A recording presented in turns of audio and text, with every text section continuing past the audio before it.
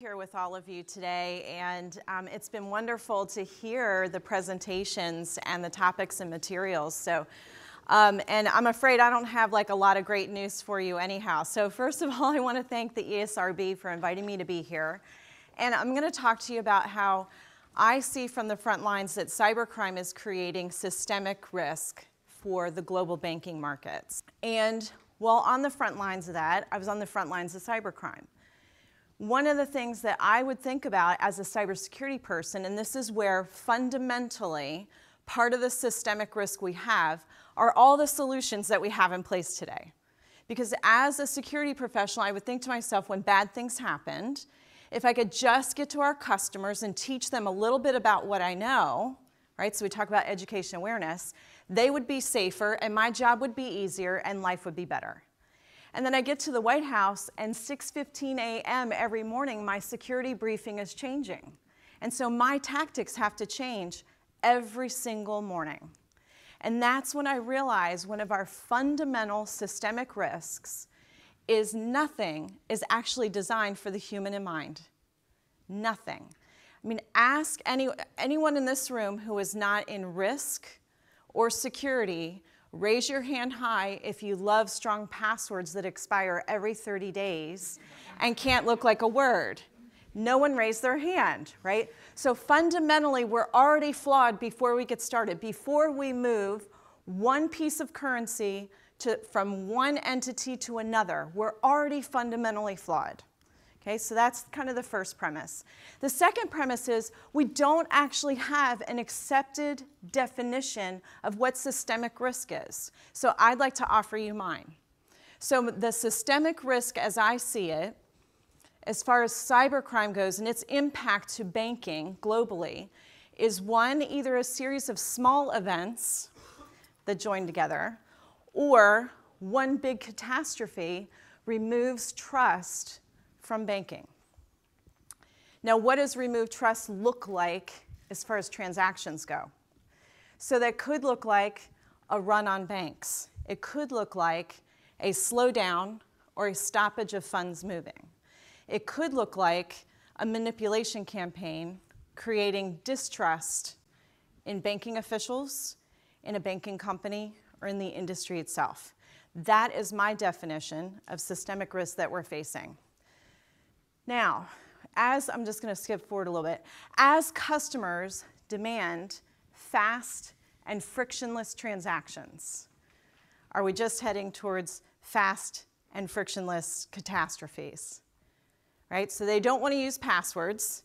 Everybody's enamored with the idea I'll just pick up my phone, show it my face, and now I'm into my system, and now I can move money. There's a lot of appeal to that.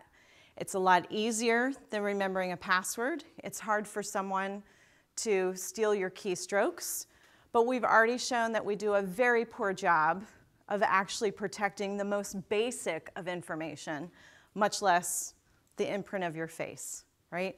And as they demand fast, the other piece is, is and so many of the speakers today already covered this, we have non-banks that are in the financial ecosystem now. And the customer, whether it's a commercial entity or a consumer, they see it all as banking. So whether you like it or not, these non-banks, they see as I am conducting a banking transaction. They don't get held to the same standards, the same regulatory models, and they are missing from our cybersecurity playbooks. We don't even really think about them.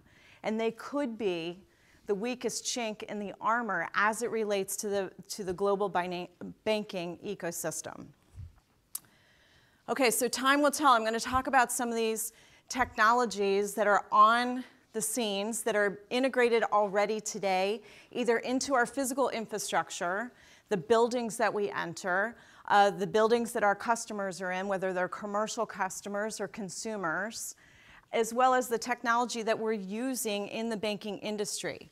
Now, see, I trust the banks as it relates to thinking about resiliency, reliability, security, and privacy. We don't always get it right, but we've been thinking about this for over a hundred years.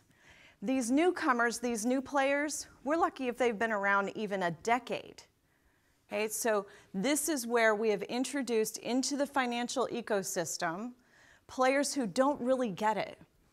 So as you think about, for example, quantum computing, so I started off as an artificial intelligence developer when I came out of graduate school and first started in banking. And what I love about computing is, is so I'm, a, I'm definitely a self-professed geek. So computing today, the only way I can make it faster is I have to get a faster processor, more memory, more hard drive, faster hard drive. So I, I just add to the computing power. With quantum computing, it is stateless. It is neither a zero nor a one. So all programming to this point prior to quantum computing, no matter how cool and awesome the technology looks, in the background, it gets translated into very boring ones and zeros. It's on or it's off. With quantum computing, it is neither on nor off. It is neither a zero nor one. It is stateless. It's both, which means we will crunch through amazing amounts of data. This will be huge for fighting cybercrime. This will be huge for fast and frictionless payments. It will also be huge for nation states and cyber criminals who want to crack encryption. We are not ready. Okay, so there are think tanks and researchers working on post-quantum computing encryption. But all encryption is is one big old math problem. So as soon as quantum computing is commercially available, or at least in the hands of nation states, expect what we use for encryption to protect transactions expected to not be safe anymore. Okay, so as we integrate these new technologies, we need newer playbooks to actually mitigate the risks that we have in the system. So first I want to talk to you about Internet of Things light bulbs. So one of my uh, clients today is one of the largest transportation industry clients um, I can think of. And I was in one of their facilities. And as we were going through the facility to work on basically thinking about incident response plans, we go through and the engineer says to me, Theresa, the next time you come through this building, it's going to be amazing. All of the lights that you see up there, they're all going to be Internet of Things, smart light bulbs. And when people come into this transportation facility, they can download an app on their phone. They can select their music preferences. They can let us know what country they're coming from. And then we, the light bulbs will follow them as they're walking through on their phone. It's going to be incredible. They'll have mood lighting, they'll have music, they'll have everything they want. So I said, wow, that is pretty incredible. And so I look up at the ceiling and I said, so if there is a Mirai botnet, like what happened October 2016, which different Internet of Things, including light bulbs, including baby cams, were actually infected and used to create a denial, distributed denial of service attack, a DDoS attack against part of the internet infrastructure, and your light bulbs are impacted, what will you do? Will you work in the dark? And the engineer said, I'll get back to you. So the last time I visited, they said, Theresa, guess what? We're going to be 60% old school light bulbs and 40% Internet of Things light bulbs. So be asking yourself, as it relates to our incident response playbooks, for the global banking system, how are we thinking about these newer technologies in the buildings?